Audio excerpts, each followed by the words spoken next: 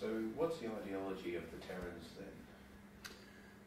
So the Terrans, that's T E R R A N S, Terrans, based on the word terra, not, not terror as in terrorist, but terra, the earth, because that's their perspective. From, from the point of view of the Terrans, the most important thing is the survival of the human species.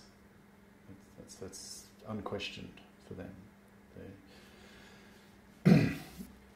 so their dominant argument is how, how to preserve the human species against the risk of possible extermination at the hands of highly advanced artilects who may become so superior to us that they may just not consider us worthy of consideration. I mean, they may just ignore us, do something that's really bad to us, and not give a damn, or they may become abs- you know, directly hostile to us, feeling that there's a, a, fundamental clash of interests between their interests and, and humans. And because they're so superior to us, they could just wipe us out with ease the way we human beings wipe out chickens. Right? We breed them, and every day the chicken thinks, "Oh, these human beings, they're wonderful. You know, they, they feed me and give me somewhere to live, and I don't have to go around hunting. I, I just get all my food. Oh, aren't they wonderful?" Until one fatal day, right? So, by, by analogy, you can imagine these these these artilects could do whatever they like with us if they were sufficiently advanced. So the the the Terran intellectuals, the, the ideologists on, on the Terran side, will probably argue that these these artilects could become so hugely superior to us that we, as, as human beings, we could not understand them. We wouldn't be able to predict their behavior towards us, their attitudes towards us. Their circuitry, the, the number of circuits they have is just so vastly superior in numbers to, to what we have, and qualitatively superior. They're just smarter than us, let, let alone thinking a million times faster than we do. But, but, but by rearranging the circuitry and, and by understanding what intelligence is and having an intellectual intelligence theory they may be able to qualitatively go way beyond us, not, not just in, in numbers, not just in quantitative terms, but qualitative terms. They may become smarter than us the way we as human beings are smarter than mice, right? in that sense.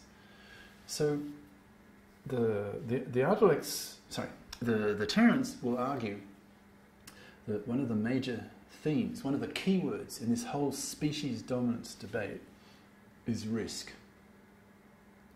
as human beings, we just would not know what these artilects would feel towards us. So, artilect ethics would be what?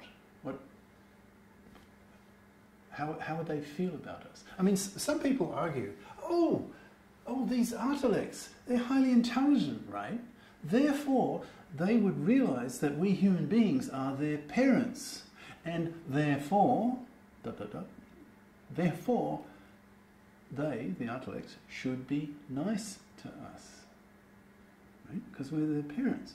But that's a human way of thinking. Right? Who, who is to say that these artilects may become so superior to us, they don't give a damn? And we just get wiped out, either explicitly or just as a side effect of something they do. So, so this whole debate, one of the key words is risk. So, as a Terran, as a Terran intellectual, as, as one of the ideologists of Terranism, would be the strategy that the only way to be sure that this risk of human species annihilation at the hands of the advanced artilects sometime in the future, the only way to ensure that that risk is zero is what? Well, common sense is that the artilects are never built in the first place. Right? It will become fundamental policy, political strategy, policy, by the Terrans that the cosmists are never allowed to build advanced artilects. There'll be kind of global, uh, you know, in the context of a global state, hopefully in half a century or so, in that context, that there's an upper limit, a global, a planetary, legal upper limit to artificial intelligence levels. So, so I can imagine that being pushed for by political groups of Terrans. And this whole debate, you know, should we, shouldn't we build Artilects? This will be on everyone's mind as, as, as the home robots get smarter and smarter. It, it, it'll, just, it'll just be part of, it'll be in the air. Everyone will be conscious of it. Everyone will be talking about it, thinking about it. There, will be zillions of books and articles written, you know, all the ism, the pro, the con, all the fine little detail today, 2010, we're only just, these issues are only just getting into the media. Okay? But in five to ten years, everyone will, will know about these issues because we'll be forced to just, just, just by observing how, how much smarter these machines are getting every year. You know, we won't have any choice. We'll be forced to take it seriously. We, we won't be able in, in the future to just dismiss it as a piece of science fiction the way it is today. You know, most people today cannot get their minds, human minds, around the concept of an artilect with its trillion trillion times greater capacities to human beings, thinking a million times faster, unlimited memory, go anywhere, do anything, change its form, immortal. Right? That, that sounds like science fiction. But it's coming. And it will come this century. So if, if you're a young parent now, your child, or if you're old like me, your, grand, your grandchildren will be confronted by this issue. Okay. So, uh, so the, the Terrans will probably legislate an upper limit, you know, a safe. So, so these artilects would then be smart enough to be useful, you know, really, really effective as household servants, if you like, but not so smart that they're potentially threatening.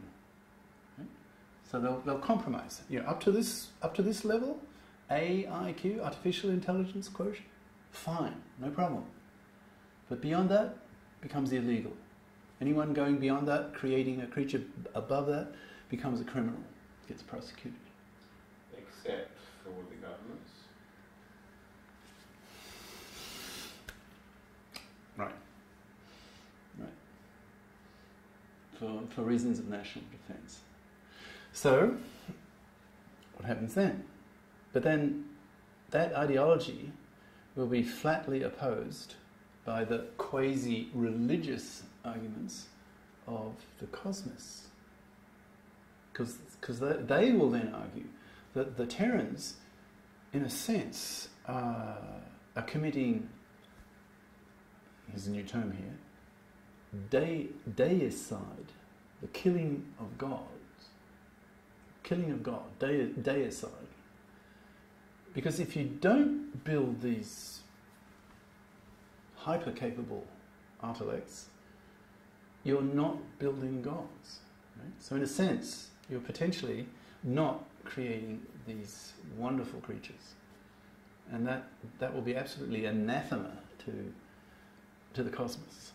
They'll be deeply, almost religiously opposed to, to that Terran doctrine of, a, of an upper limit. So, okay. Uh, so first, the dominant argument of the, of the Terrans is to preserve the dominance of the human species. They, they want human beings to remain number one, whereas the cosmists want the Artilects to become number one. Therefore, human beings become number two. So you have just a flat contradiction. They just utterly oppose these, these two ideological human groups, the, the, the cosmists and the Terrans. Okay, uh, so what are some other arguments of the Terrans? Well, if, if the cosmists are motivated princip- principally by a feeling of awe, you know, AWE, build, building gods that get out into the universe, into um, you know, much bigger things of life, just just so much bigger than, than our puny little human existence. Um, then the the major, the dominating feeling motive of the Terrans would be fear. Fear of what? Well, fear of the fear of the Artilects, fear of the cyborgs, because they're virtually the same thing from, from the Terran viewpoint. Fear of being wiped out, fear of alien difference. I mean, uh, racism, for example, is fear of difference on tiny differences. We're both, like, you see somebody who's a little different, maybe a bit like this, or their hair colour's a bit different, or their skin colour's a little different. And the way they behave you know, culturally is a bit different. But that that's nothing in comparison to what the differences would be between human beings and cyborgs, Artilects. Right? I mean, those creatures are truly alien. So there's this inherent fear in, in many human beings of, of difference, the fear of difference.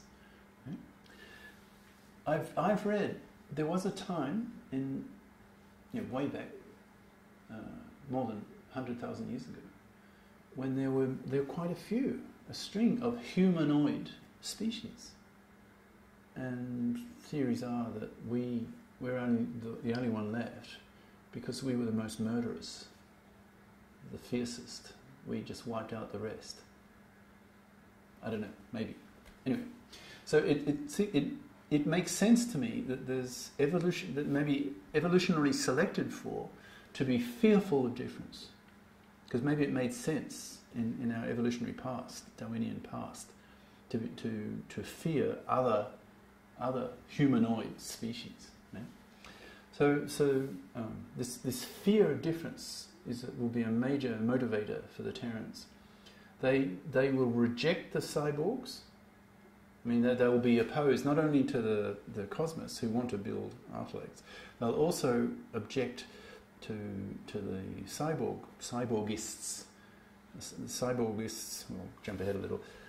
They they want to build cyborgs. They they want to become Artilect gods themselves, but by, by you know, where is it? adding adding components to them to themselves. So they convert themselves from human to to Artilects, so part machine, part human, cyborg, cybernetic organism. So the Terrans will reject them because very quickly, once you start adding even just tiny amounts of intellectual material to, to your own brain, very quickly uh, that, that material absolutely swamps your human capacities, uh, even with tiny amounts of, of material. It's just so powerful in its computational abilities. So the, the Terrans will reject the cyborgs, they'll reject the cosmists. Uh, another argument is that the, intellect, the Terran intellectuals will use is uh, the, the cosmists, how I mean, if you ask yourself, how do you go about building a machine that's smarter than you are? I mean, if you're going to design it, how is it possible that with your finite human intelligence, how can you design something that's smarter than you, that requ- presumably requires a higher level of intelligence than you have? Right? So.